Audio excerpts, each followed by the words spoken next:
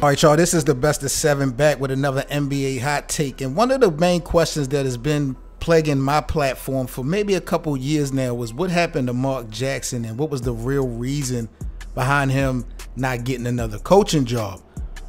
Well, according to a story, this is crazy. According to a story, there was an article back in 2016 by ESPN the magazine that kind of elaborated on some reasons of what happened and some of the reasons why Black Mark Jackson may actually be blackballed at this point. But the article had got pulled.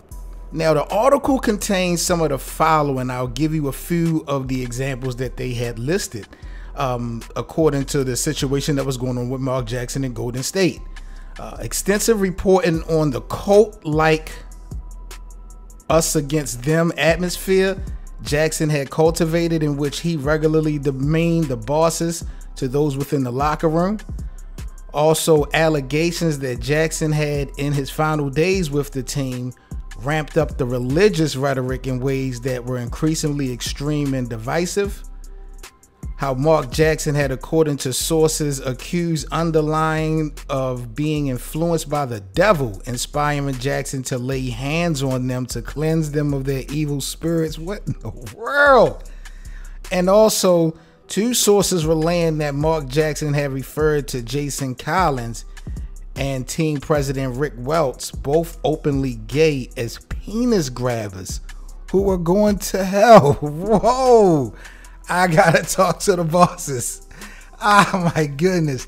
I gotta talk to the bosses, but this was an article that ESPN the magazine had came out with in 2016. The article never came out and now things are dropping and i'm just like bruh if this is true if this is true i can see mark jackson never ever ever will coach in the national basketball association ever again.